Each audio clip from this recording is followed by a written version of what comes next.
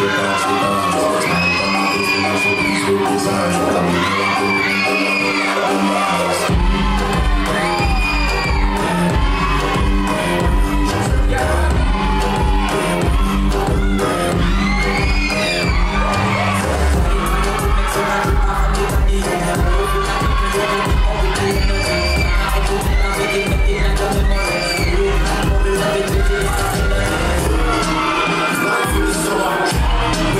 Just with the summer of the